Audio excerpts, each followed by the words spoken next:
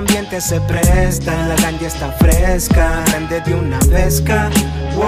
E aí galera, hoje estamos aqui no Bar Fantástico, em Barcelona. Depois de três meses aqui andando de skate, fotografando, filmando, fizemos uma conexão com a Tatu e expus umas fotos é, de skate junto com o amigo Thiago Pavan.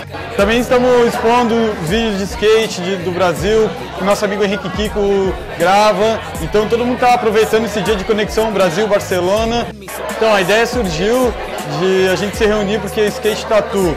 Por quê? Porque é um estilo de vida underground, todo mundo se encontra na rua, então por que não melhor a gente comemorar junto hoje uma exposição de vídeos, fotos, y otros trabajos do meio.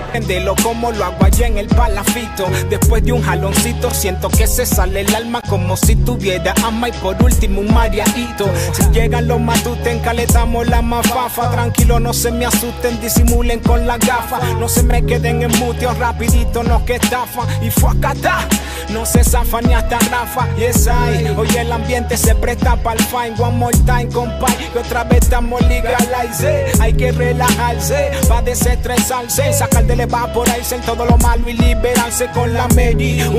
Estamos aí fazendo a exposição que surgiu de uma ideia da Laia, a esposa do William para movimentar o bar e acabou sendo uma conexão do Brasil, skate e tatuagem fazer uma exposição aí, terminamos o quadro hoje.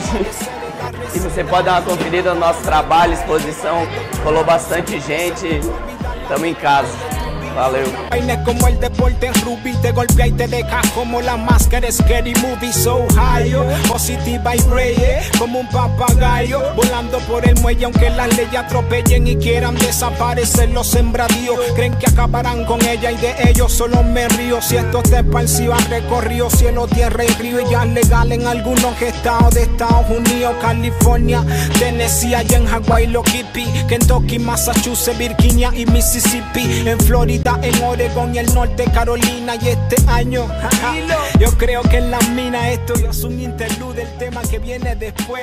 Pero me dejé llevar por la pista y me alargué otra vez. Disipan los marimberos